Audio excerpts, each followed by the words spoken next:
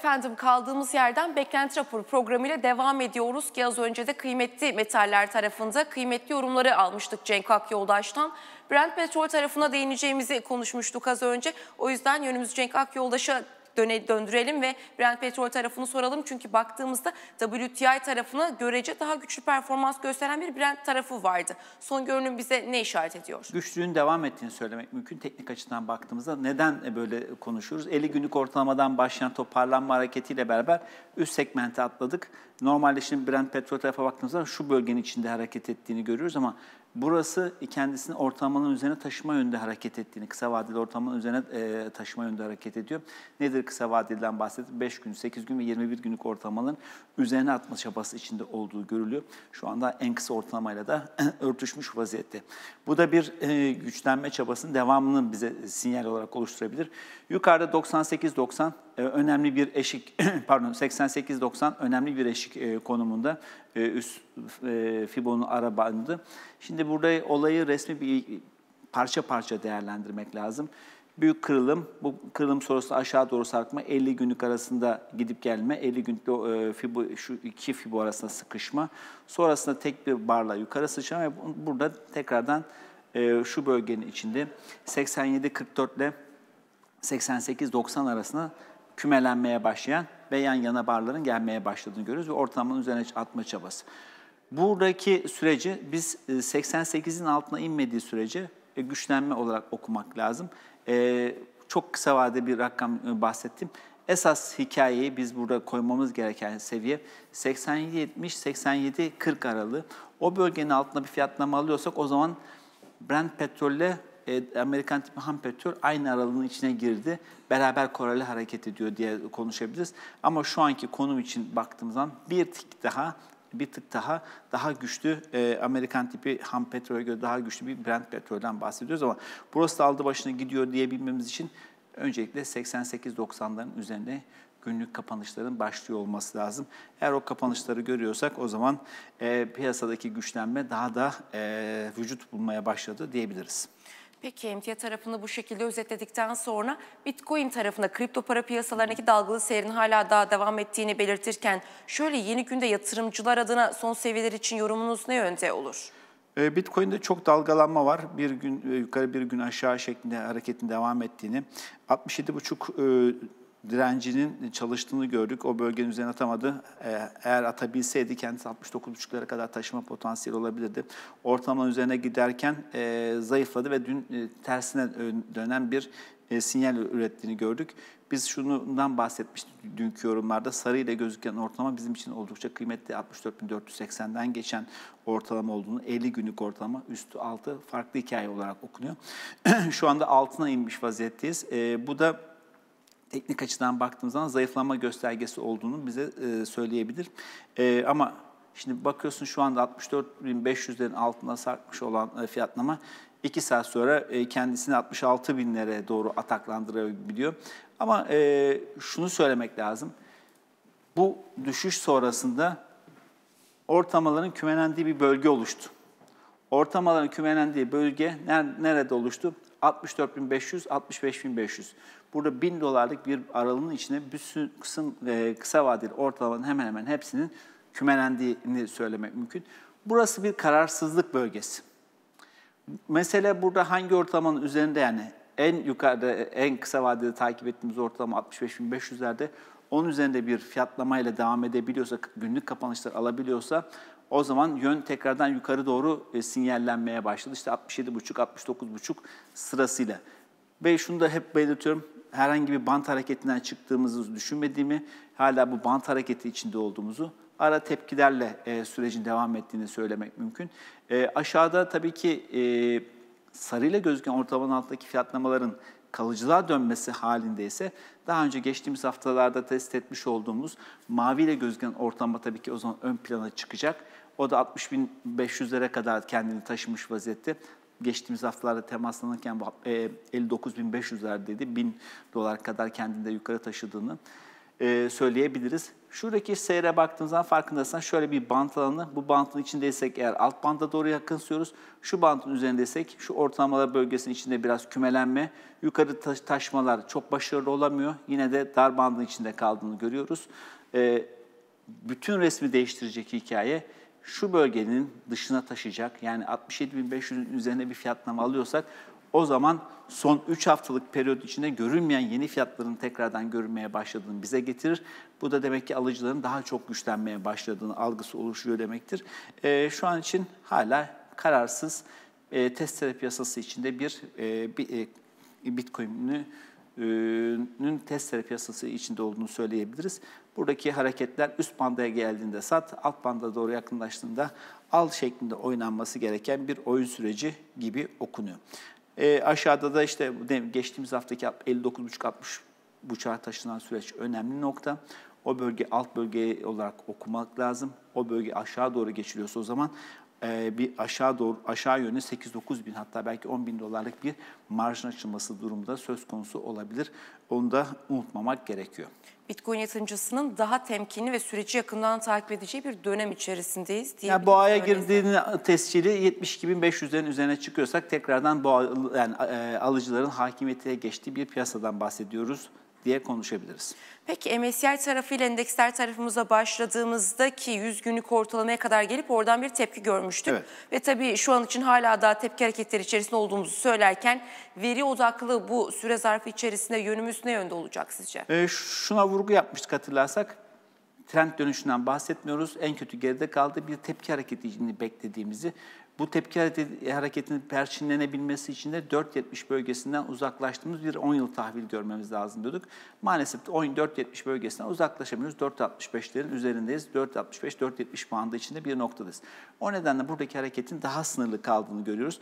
E, haftalık grafik cinsinden baktığımızda sonra günlüğe de bakalım. İkisi bir arada değerlendirsek Tabii. daha doğru olacak. E, Farkındaysan burada e, uzun vadeli ortalamadan 21 haftalık ortalamadan bir tepkinin geldiğini e, gördük. O tepkiyle beraber yeşille gözüken ortalamaya kadar çıktığımız görürüz. O da 13 haftalık ortalama olduğunu belirtelim. E, farkındaysan 4, e, 3250 ile 3335 arasında sıkışmış bir yapı var. Tepki hareketi sınırlı kaldı. 3335 bölgesinin ötesine geçecek miyiz, geçemeyecek miyiz? Bunun tespiti için 10 yıllık tarafa alıcıların gelmesi lazım. Bir şekilde kendini 450'ye doğru yakın satmak o bölge 4.55-4.50 arasında bir bölgede olsa piyasa daha az stresli olacak. O zaman diyecek ki acaba alıcılar daha kuvvetlenir 4.50'lerin altına gidebilir miyiz? Şimdi 4.65-4.70 bölgesinde olunca da satıcılar da kuvvetlenir. Acaba 4.70'i geçebilir mi endişeleri var. İşte bugünden itibaren başlayan 4-5 iş günlük bir süreci, sürecimiz olduğunu hatırlatalım. Önümüzdeki hafta çarşambaya kadar. E bu süreçte içinde biz PC verisi alacağız, Amerika büyüme verisini alacağız e, ve keza e, Fed'in e, faiz kararını alacağız. Bir değişiklik beklemiyor, kimsenin beklediği yok ama söylemler önemli olacak. Oradaki Powell'ın söylemleri belki e, son bir sene içindeki en önemli söylemlerden biri noktasına gelmiş vaziyette. Çünkü piyasadaki algıda bir bozulma söz konusu. O bardan hep dolu tarafını gören piyasa artık biraz daha boş tarafı görmeye başladığını e, görüyoruz. Yorumlar tarafında da işte Fed'in bu sene artık faiz indirimleri yapamayacağını dillendirildi. Yumuşak genişten bir anda sert bir resesyona, e, sudden stop'a doğru gidebilecek bir sürecin bile tetiklenebileceğine yönelik yorumlar gelmeye başladı. O nedenle bir şekilde Fed'in piyasalara tekrardan motive edici bir konuşmaya yapma ihtiyacı olduğunu düşünüyorum. Bu önümüzdeki hafta bakalım gerçekleşebilecek mi? Tepkinin ilk üst sınır bölgesine geldiğimizi belirtelim. Eğer gelecek olan veriler bizi biraz daha destekleyen nitelikte olursa bir tık daha yukarı gitme, 3355-3375 aralığına kadar sürmesi beklenebilir bu tepki hareketinin. Ee, tepki hareketinin ötesine geçmesi için ise 3372'nin üzerinde fiyatlamalar görmemiz lazım. Eğer öyle bir olgu oluşuyorsa o zaman mevcut konjektürde her şey iyileşmeye başladı algı tekrardan e, normalleşmeye başladı. Tahvil faizleri aşağı doğru gelmeye, işte beklentiler tekrardan yeşermeye başladı. Bir dönemin içine girdik demek olur.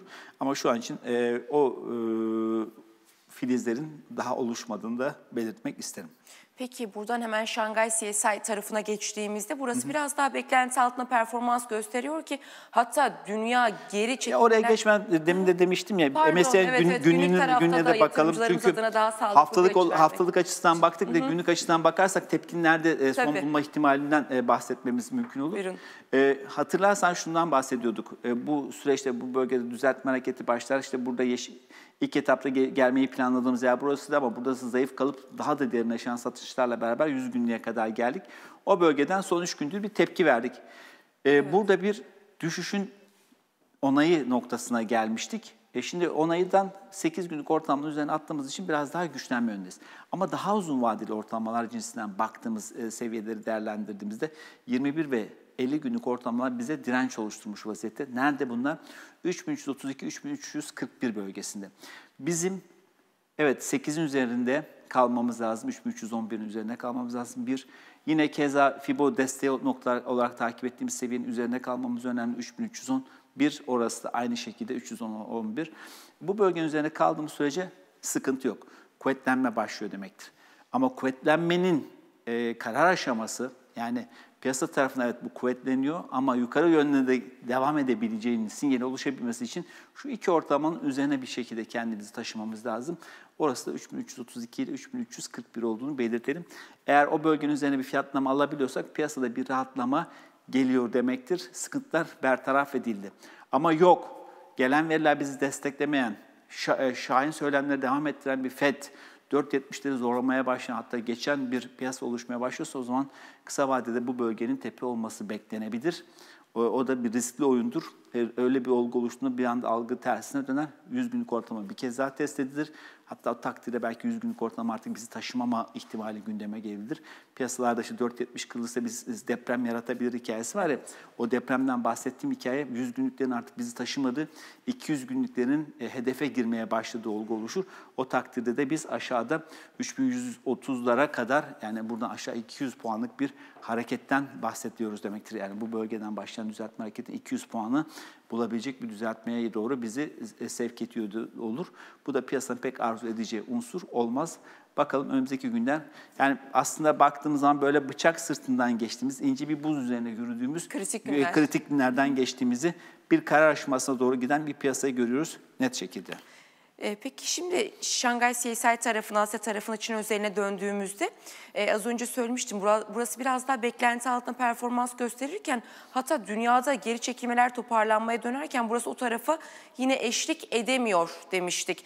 E, ki zira Ters koreli hareket ediyor. Ters koreli hareket ediyor. Yani aynen. piyasalar yeşilken burası, Burası kırmızıya kırmızı, dönüyor. Piyasalar tersi. kırmızıyken, diğer ülkeler kırmızıyken burası yeşile dönüyor. Ee, bu arada çeşitli raporlar gelmeye başladığını da görüyoruz. Ee, yabancı fon girişlerinde e, Çin piyasasında bir talebin başladığını, özellikle de Hindistan, e, Japonya gibi hisse senetleri piyasasında bizim bir ay önce söylediklerimiz artık raporlaştırılmaya Evet. başladığını görüyoruz. Ee, bu da sevindirici. Demek ki e, düşündüğümüz senaryoda dünyaya gelecek olası bir satışlar dalgasında e, buranın yukarı doğru farklı yönde hareket etme ihtimali gündeme gelir. Dikkat etmek lazım.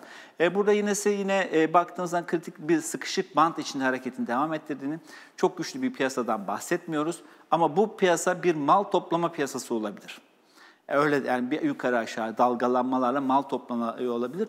E, piyasa mesela iyiyken genel alıcıların 50 kırma, diğer piyasaları alırlarken buraya satış gelip alıcıların iştahını düşürme yönünde hareket. E, diğer piyasalar kötüyken gelen satıcıların malını karşılama şeklinde bir hareket e, böyle okunabilir. E, buraya dikkat etmek lazım. Bir bant içine girdik farkındaysanız çok uzun zamandır bir bant içindeyiz. E, bu bantın alt bölgesi bizim için önemli olan 3490. O bölgenin altına fiyatlama almadığımız sarkmalar olabilir. Kapanışlar hep 3400 99-3500 seviyesinin üzerinde kaldığı sürece buradaki hareketi ben mal toplama süreci olarak okuduğumu vurgulamak isterim. E, bütün resmin tersine döndüğü, pozitif algının pompalanmaya başladığı nokta ise 3600 olacağını belirtelim. Ara direnç noktamız hala 3535'te kendini korumaya devam ettiğini görüyoruz. Peki Japonya özelinde 2725 ila 2750 bandının çok önemli bir direnç olduğunu belirtirken bu taraf için olası hareketlerin biraz daha sınırlı potansiyelde kaldığını söylemek mümkün müdür? Ee, burada da işte yendeki kuvvetlenmenin getirmiş olduğu, e, pardon yendeki satışlarla beraber burada artık bir müdahale gelecek beklentisi oluşmasıyla beraber buradaki hareketlerine sınırlı. E, bir gün artı bir gün eksi şeklinde giden bir süreçle karşı karşıyayız. Burası da 100 günlük ortalamadan sert bir tepki vermeye çalıştı. Geldi ortalamalar bölgesine. Ee, özellikle kısa vadeli ortalama 2700 2'den geçiyordu 21 günlük ortalama. Onun üzerine atmaya çalıştık ama başarılı olamadık. Bugün itibariyle tekrardan 50 günlük ortalamanın altına inmiş vaziyetteyiz. 2674'ten geçiyordu. Burada bir kararsız bir piyasa var. Yani e, çok kuvvetli bir rally yapmıştı. Bu rally sonrasındaki süreçte eğilimlere bakarsan aslında tepe oluşumu bir dip oluşumu, tepe, dip, tepe daha kısa kaldı. Farkındaysan son 3 dip ve tepe analizini yaparsak aşağı yönlü eğilimin devam ettiğini bize gösteriyor. Bu da bir düşüş sinyali, yani düşüş trendinin e, temasının oluşmaya başladığını, paterninin oluşmaya başladığını bize gösteriyor.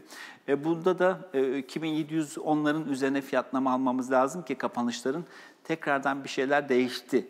Bu algı e, yavaş yavaş kendini yukarı doğru çevirmeye çalışıyor algının tamamen değişti. Yani daha önceki son şu bölgede oluşan tepenin üzerinde bir fiyatlama ihtiyacımız var ki biz bu düşen trendten çıktığımız bir yatay bir düzeltmeyle biz bu süreci tamamlıyoruz algısına dönebilsin diye.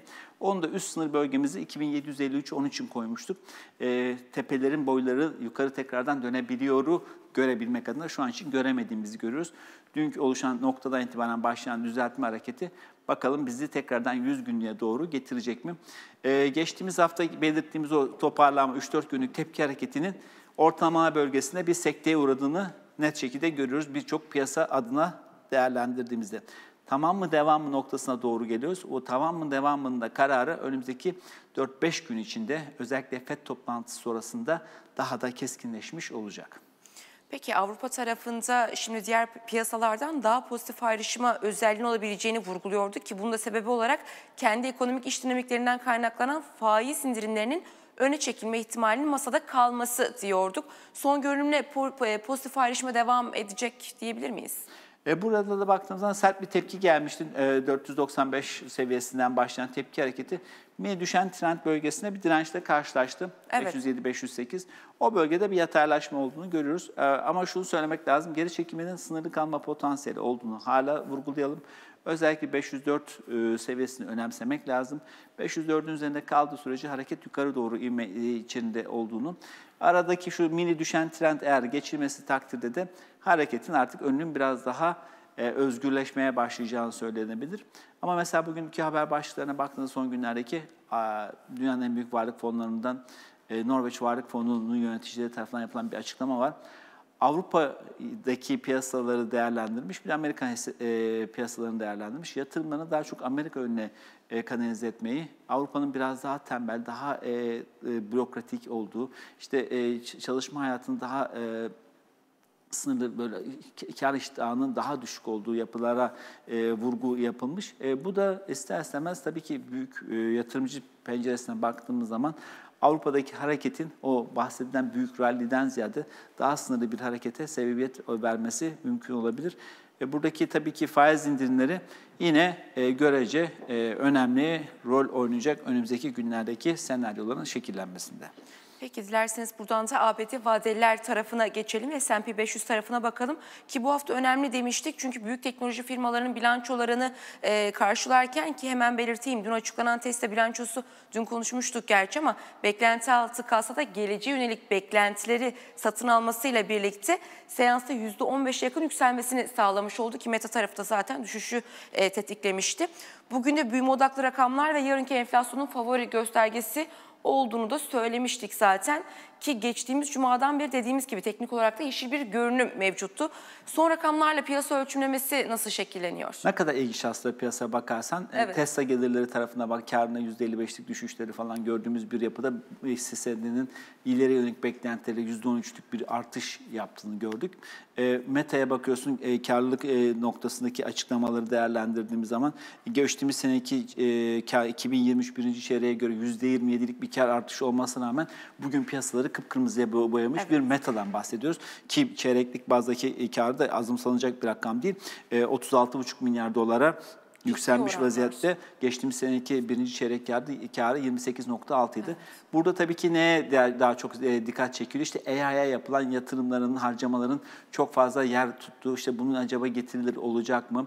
Biliyorsun daha önce Metaverse noktasında bir atılım yapmıştı ve ciddi bir e, para harcamıştı e, Meta. Bunun karşılığını alamamıştı.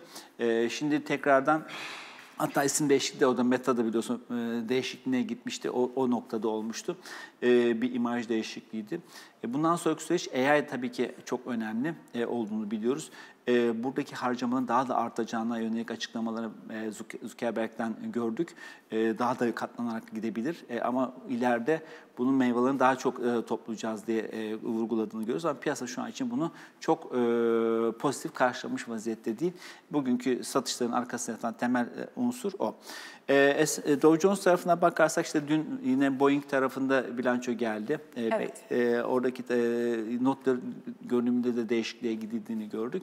İşte burası e, geçtiğimiz haftaki belirttiğimiz o 3-4 yan yana gelen barlardan sonra bir taban oluşumundan bahsediyorduk hatırlarsan. 200 günlük ortalama etrafından hızlıca bir toparlanma işine girdik. 4 günlük yükselişten sonra dün ortalamalar bölgesi farkındaysan geldik. Bir e, direnç oluşturdu bize. O bölgeden ama tamamen dönüş oldu mu? Olmadı. Şimdi ortalamaların arasına girdik. Kısa vadeli ortalama 8 günlük ortalama 38.480'de. Daha uzun vadeli olarak değerlendirdiğimiz işte 66 günlük ve 21 günlük ortalamaların geçtiği seviye ise 37.750-38.800 aralığında. Burayı direnç yaptı kendine. Mesele bundan sonraki süreç bu bölgenin içinde kaldıktan sonra aşağı sınırı 38-480'in altına inmeden tekrardan yukarı zorlayıp yukarıdaki şu bölgenin içine girebilecek miyiz? Büyüme verisi, PC verisi, Ve FED tarafı. e, FED tarafı bize bu olguyu sağlayabilecek mi? Sağlay. Bu beklenti oluşturacak mı? Oluşturmayacak mı? Keza bir yandan da bakıyoruz işte büyük yedi e, teknoloji firmasının bilançoları gelmeye devam ediyor. Diğerlerini de almaya devam edeceğimizi hatırladım. Tesla ile Meta'yı tamamladık. Geri Apple kaldı, Microsoft kaldı. E, bunların bilançolarını alacağız. Keza e, Nvidia var. O gelecek önümüzdeki günlerde. Çarşambaya kadar. önümüzdeki Çarşamba, önümüzdeki çarşamba. Öyle, öyle bir nokta ki çarşamba bütün piyasalar için bir deadline gibi yani Evet. son nokta. Ondan sonraki süreç ya buradaki hedefe doğru gitmiş olacağız tekrardan aşağı doğru ya da buralarda bir oyalanacağız. E, yeni gelen verilerle beraber e, tekrardan ya yukarı doğru ya da işte FED sonrasında tekrardan aşağıya doğru bir süreci getirecek. İşte burada da bu eşiklerin aşılmasını sağlayacak unsurlardan bir tanesi ABD 10 yıllık taraftaki gelişmeler olacaktır. Eğer orada da işte 4.70 korunu 4.70 korunamaz ise ne olursa olsun ağızda kuş tutsa bile piyasalar maalesef bu eşikleri aşamaz. Yani şu aralığı aşamaz. O takdirde ciddi bir sert satışlarla karşılaşırız ki o zaman bu bölgeyi tekrardan doldurma, belki trendin bu bölgesine doğru gelme dip seviyeleri 37.200'lere kadar e, hatta belki 37.000'lere kadar bir geri çekilmeyle karşı karşıya kalırız ki bu da yaklaşık e, 1600 puanlık bir rakam. E, bu seviyeden kıyasladığımız zaman %4-%5 arasında bir dü- düzeltmedir. Hisse bazına dönersek belki %10'lar, %20'ler havalarda bile uçuşma potansiyeli olur. E, kritik bölge bir kez daha vurgulayalım. 38.450-38.500 aralığı kritik aşağıdaki destek noktası. O bölgenin altına sarkmaması lazım. Gelecek bilanço ve veriler buraya desteklerini tek olursa kendisi 37.800'ün üzerine taşıması gerekli.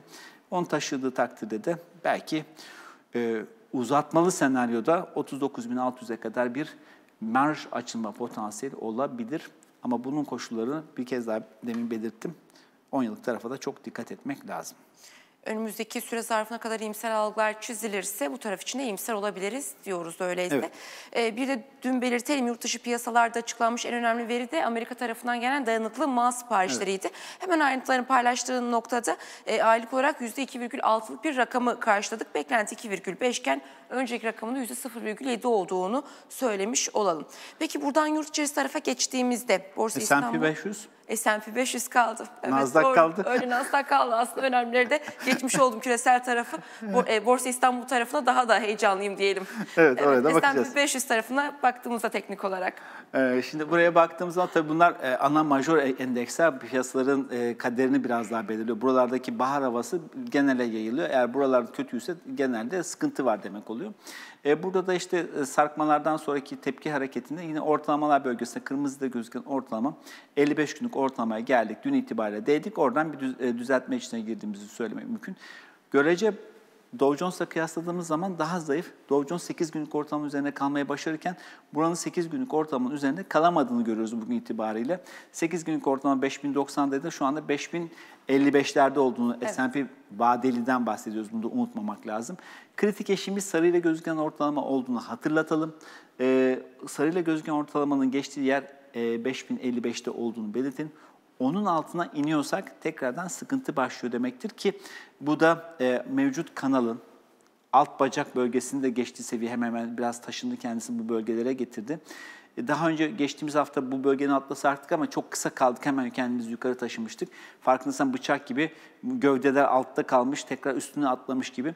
Eğer bunun altında kalmaya başlıyoruz ve bu trendi zedelemeye başlayıp aşağı doğru gitmeye başlıyorsak daha da derinleşen satışlardan bahsediyoruz demektir. O zaman 4860-4850 bölgesine kadar iş derinleşebilir. Dikkatli olmak lazım. Yeni bir oyun alanı olarak bu bölge e, gündeme gelebilir. Çok çok dikkatli olunması gerekiyor. Farkındaysan şu aralığın içi bir kararsızlık aralığı. Burada Evet. bir yön arayışı içinde oluyor. Yani biz şu ortalamanın arasına girdik. Şuradaki en üstte takip etmiş olduğumuz 5150'nin üzerinde bir fiyatlama görüyorsak daha başka bir piyasadan bahsedeceğiz. 5055'in altındaki fiyatlamalarda bahsediyorsak başka bir hikaye. E, o bahsettiğimiz tepki hareketi geldi. Hep biliyorsun vurguladığımız hareket tepki hareketi. Trend dönüşünden bahsetmiyoruz. Tepki hareketi. Bundan sonraki sürecin ne olacağını ortalamalar bölgesine geldiğimizde gelecek olan veri akışları, açıklamalar bizi şekillendirecek diyorduk. Farkındaysan e, oyunda o şekilde devam etmeye e, sürdürüyor kendi içinde. İş dinamikleri açısından baktığımız zaman e, bilançolar tabii ki önemli olacak. Bundan sonraki teknoloji e, şirketlerinin bilançoları piyasa üzerinde ağırlıkları çok kuvvetli olduğu için e, biraz daha piyasanın şekillenmesi adına çok çok kritik eşikte.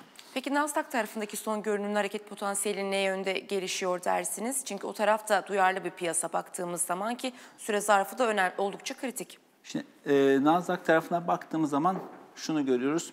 Burada 15.200'lerden başlayan hareketle bir tepki vardı. Güçlü, Evet. daha görece güç, daha güçlenmeye çalışan bir yapı var. Farkındaysan e, birçok ortalamanın üzerine 60 vaziyette kendisini kısa vadede takip ettiğimiz ortalamalardan e, kendisi kurtarma çabası içi- içindeydi. Yukarıda e, 15.980 15.950 aralığındaki bölgeye bir ataklanmanın devam etmesi beklenebilir. E, burada koşulumuz ne? 15.700'ün üzerinde kaldığımız sürece. Neredeyiz? 15.712'deyiz. Şimdi bundan sonraki süreç bizim için çok kıymetli. Gelecek olan teknoloji firmaları tabii ki burada da çok etkili. Eğer buraya destekler nitelikte olursa oyunun üst sınır bölgesi ama burada da oyunun üst sınır bölgesi belli aslında. 15.982. O bölgenin ötesine geçebilmemiz için bizim elimize daha yeni haber başlıklarına ihtiyacımız var. Nedir bu? İşte piyasalardaki be- beklentinin tersine döndü. Dalgının güçlenmeye başladı. İşte Fed'in o artık e, arka plana ötelenme. Nasıl bir ara coşku çok fazlaydı, 160 bas puanlık faiz indirimleri vurgularken şimdi hiç faiz indirimlerine gelmeye doğru giden bir evrim. Yani aslında ne kadar iki uç arasında giden e, bir piyasadan bahsediyoruz. E, bu da yatırımcı algısının nasıl yönlendirildiğini, nasıl algının e, bir, e, insanların coşkuya doğru ya da korkuya doğru sevk ettiğini bize gösteriyor. Bunu da unutmamak lazım. Yarın öbür gün bir bakacağız belki o sıfır e, diyen arkadaşlar e, yarın öbür gün 75-100 bas puanlık faiz indirimlerinden bahsediyordu olabilir. Önümüzdeki günler gelecek olan verilerle çok net şekilde şekilleniyor. Onu da belirtmek isterim. Peki buradan yurt içine döndüğümüzde şimdi ki az önce küresel tarafa es geçip yurt içine bu kadar heyecanlı dönüşümden anlamışsınızdır. Yatırımcılarımız en az benim kadar merak ediyordur. Çünkü haftanın dördüncü işlem günündeyiz ve dün BIST 100 endeksi günü %0,80 değer kazanımıyla 9722 puandan tamamlamış oldu. Son görünüm bize neleri işaret ediyor dersiniz? Ee, tabii ki e, biz bizim piyasa kapandıktan sonra Amerika'da hisse senetleri Evet. piyasası işlemeye devam ediyor biliyorsun. Türkiye'nin ETF'i var bir tane. Bu çiplerinden oluşan bir e, e, e, sepet e, olarak işlem gördüğünü, ETF olarak işlem gördüğünü hatırlatalım. Dün orası 0.70'lik bir artı ile günü tamamladığını belirtelim. Bizdekine benzer bir artı süreci vardı. Dün e, Türkiye ile ilgili bir sürü raporları gördük. Mehmet Şimşek'in e, yurt dışı seyahati sonrasında döndüğü belirtti. İşte tam gün boyunca toplantılar yaptık, çok yoğun ilgi vardığının karşılığını hafif hafif almaya başladığımız söylemlerle desteklenen raporları gördük. İşte bir çeşitli kurumlardan, büyük yatırım bankalarından, e, büyük oyuncu e, kurum, aracı kurumlardan raporların geldiğini gördük. İşte tek TL varlıkların e, ileri yönelik algısının nasıl şekillenebileceğine yönelik. İşte bankacılık sektörünün dün mesela kamu bankalarının ikisinde e, borsada işlem gören e, Vakıf Bankı'nda, Halk Bankı'nda tavan olduğunu gördüğümüz günlerden geçti. Çok uzun zamandır böyle e, anları hatırlamıyoruz. Çünkü evet çok ciddi derecede diğer bütün piyasadaki bankalar giderken bu hisseler e, oyunun dışında kalmış ve hep gelen raporlarda hep daha aşağı düşük seviyelere yönelik raporlar gelirken yeni raporların geldiğini e, görmeye başladık. Tekrardan bu şirketlere raporların yazılması aslında ne kadar önemli olduğunu e, bir şekilde e, oradaki mağdur ciddi bir yatırımcı kitlesi de var baktığınız zaman e, geçmiş e, fiyatlamalarla. E, oradaki bir e, sürecin normalleşmeye doğru evrilmeye başladığını görüyoruz e, demektir ki bu bir paradigmada değişim söz konusu. Dün yine Fitch'in Türkiye değerlendirmesiyle ilgili bir toplantı vardı. E, oradan çıkan ön başlıklara baktığımız zaman e, yine Merkez Bankası'nın e, mücadele tek başına bırakılmaması gerektiğini, mali disiplinin ön plana çıkartılmasının önemli olduğuna yönelik söylemlerin yine içeride olduğu, TL yönelik ileri beklentiler yine burada vurgulandı. E, yine e, baktığımızda yabancı bankalar tarafından işte yıl sonu enflasyon beklentisinin işte 40-45 bandı içine e, normalleşmeye doğru indiğini e, görüyoruz. E, burada hafif hafif algıda bir iyileşmenin başladığı. Bu da yansıma olarak e, hemen e, Turo endeksi üzerinden değerlendirildiğimiz zaman e, baktığımızda şunu söyleyebiliriz. Burada da bir sıkışmanın devam ettiğini. Farkındaysan burada güzel olan hikaye diplerin yukarı doğru oluşmaya devam etmesi resmi. Ve yukarıdan bizi baskılayan 39-75-39-50 bölgesinin daralmaya başladı. Ve oyun alanı gittikçe daralmaya. Hatta son düzeltme hareketinin daha da sınırlı kaldığını görüyoruz. Çok kısa bir düzeltme hareketi içine girdiğimizi görüyoruz.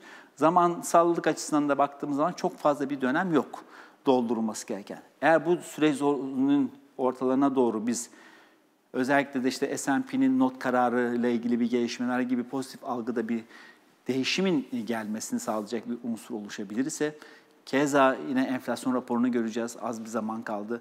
Bugün içeride politika faizle ilgili bir e, haber başlığı var. Oradan bir yönlendirme metni.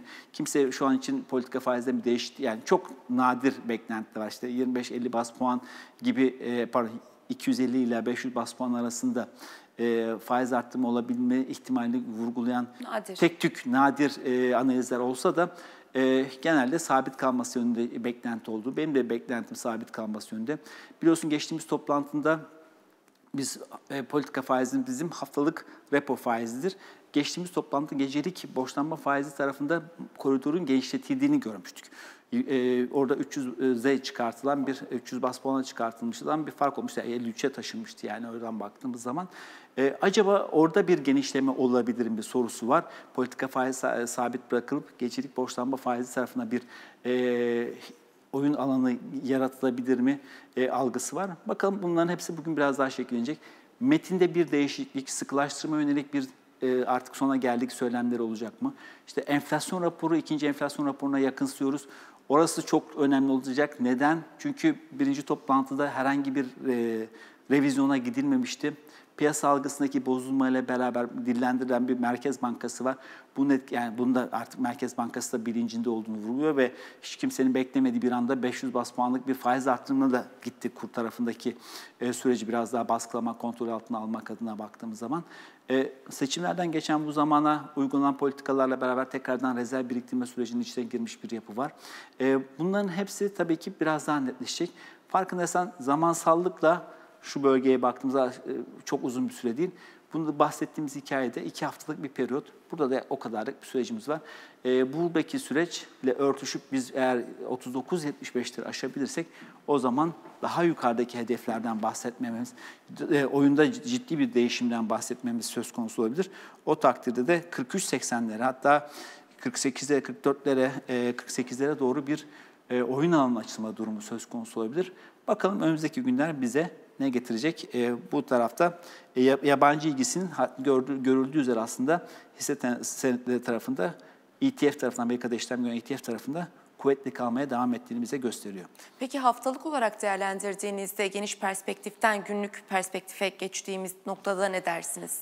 E, haftalıkta da benzer bir süreç içindeyiz. Farkındaysan burada da diplerin yükselmeye devam ettiğini görüyoruz. Bir yataylaşma var. Şu yataylaşma, şu bant içine, şu bölge bizim için oldukça kritik bir bölge. Burası 39-40 bölgesi diye de nitelendirsek eğer biz bu bölgenin üzerine aşabiliyorsak o zaman bir şeyler değişmeye başladı. Farkındaysan e, daha, e, bu bölgede biz aç, e, asılı duruyoruz. Bir şeyleri değiştirmeye çalışıyormuş gibi bir imaj var. E işte burada bakalım bu ne kadar başarılabilecek. Yine burada da hedef olarak 44'ler seviyesi yani demektir ki e, buraya aşabilsek ilk etapta bir yukarı yönlü bir %10, %12'lik bir marjımız var.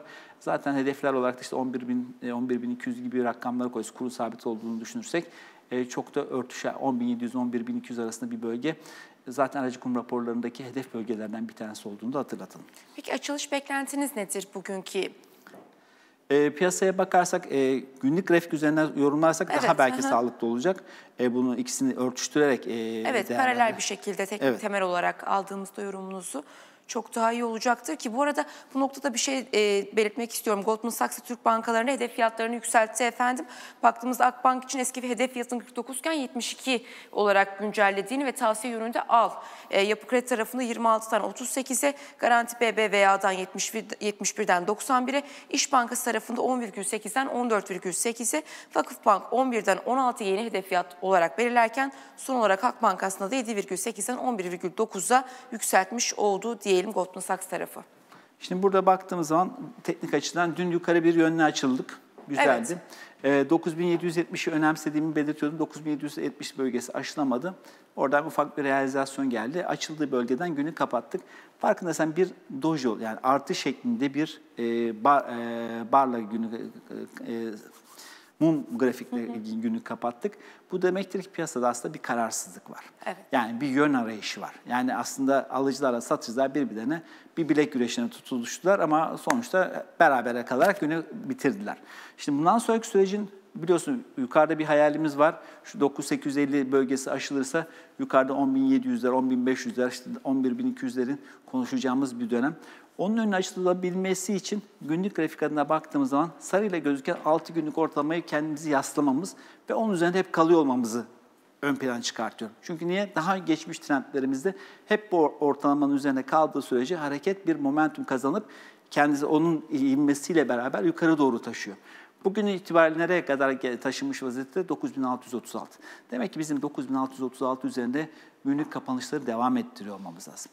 Merkez Bankası tarafındaki bugün söylemler oldukça önemli olacak. Hareketin devamlılığı adına e, oradan gelecek söylemler bankacılık endeksi üzerinde ve holding endeksi üzerinde nasıl bir etkisi olacak? Bu da yine piyasanın bir şekillenmesi için e, bir yön haritası oluşturacak. Dışarıda risk algısı zayıf şu an için baktığımız zaman. E, biz ama çok fazla yurt dışı ile bağlantılıyız. Biraz kopuk olduğumuzu hatırlatalım. Biraz bekle gör stratejisi gidecek bir gün. Merkez Bankası kararından sonra daha çok şekillenecektir. E, mesele hep belirtiyorum e, 9770 ilk etapta daha sonra 9850 ikinci etapta aşılması gereken noktalarımız 9850'nin üzerindeki günlük kapanışlar bize yeni bir oyun alanı açma potansiyeli olduğunu ama bu bölgede çok fazla hep belirtiyorum e, dikensiz, taşsız bir bölge olmadığını, arada da dirençlerimiz olacağını hatırlatalım. 10.100'ler, 10.200'ler, işte 10.300'ler gibi böyle psikolojik e, ve trendsel trendlerden gelen dirençlerle karşı karşıya kalma potansiyelimiz var. Ha resim değişir mi? Değişebilir. Merkez Bankası'ndan sürpriz bir kimsenin beklemediği bir faiz artırım kararı gelirse o zaman piyasada e, bizim göremediğimiz başka bir şey var. Demek ki enflasyonla ilgili başka sıkıntılar oluşuyor olabilir, beklentiler olabilir. Faizin bir tık daha rekabetçi olma durumu söz konusu olabilir. Öyle bir algı oluşması da biraz piyasaya satışı getirme potansiyeli getirir ki o takdirde e, geri çekilmelerde baktığın zaman 9636'nın e, altındaki seyirde 9550, onun altında 9490 ana desteklerimiz konumunda olduğunu belirtelim. Mesele şu başlayan trendin kırılmaması, onun da geçtiği seviye hemen hemen 9490 e, 9500 bölgesi. Onun altına iniyorsak o zaman kısa vadede algıda ciddi bir bozulma başladı diye okuyabiliriz. Değerli analizleriniz için teşekkür ediyoruz Cenk Bey. Evet efendim sevgili Burs Yatırım Portföy Yöneticisi Cenk Akyoldaş ki aynı zamanda piyasanın çok değerli ismi olan kendisiyle programımızı burada noktalandırmış oluyoruz. Yarın yine aynı saatte görüşmek dileğiyle bol kazançlı mutlu bir gün geçirmesini dilerim. Sevgiyle kalın, hoşça kalın herkese.